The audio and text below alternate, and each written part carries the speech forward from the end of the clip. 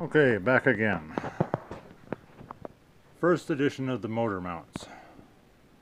I thought I had everything figured out. I set adjustments into them for the left and right, up and down, but I failed to take one thing into account. This one here only mounts on three of the holes, but that's alright.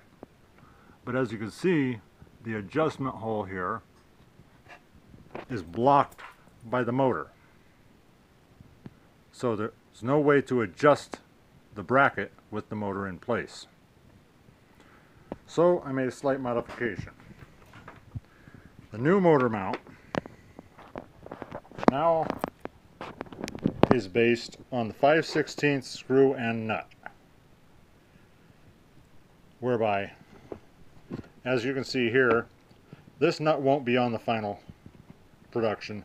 It's just to hold everything in place. But inside, the nut sits inside the slot to keep it from turning. The screw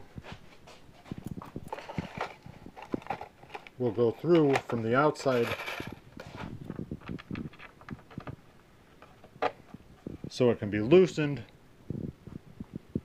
for adjusting the motor mount up or down.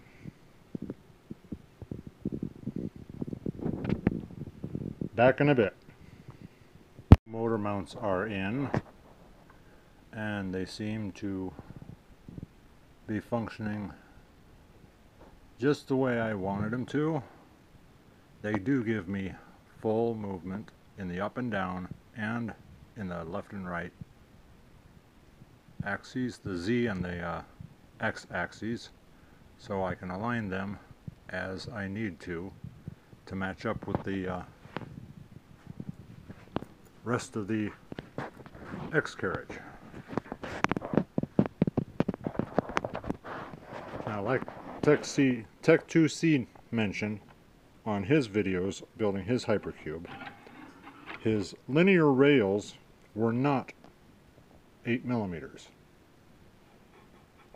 And as you can see here, there is quite a lot of play and slop in the X carriage or in the Y direction here on the Y axis. And when I measured these rails, they were not 8 millimeters, they were 7.94, which is, I, I believe, is what Tech 2C said his were, which amounts to a 9 16ths.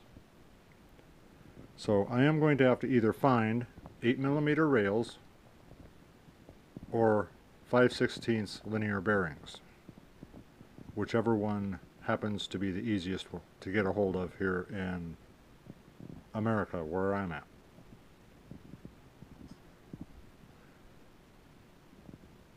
On another note, a package arrived today. In it,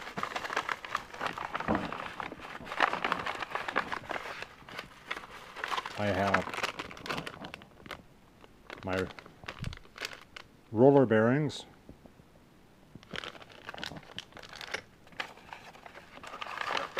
and I also have my belts. So the next stage will be installing the bearings and running the belts. I still have to figure out how I am going to attach the belts to the X carriage and go from there. So until next time, thanks for watching and have have a good day.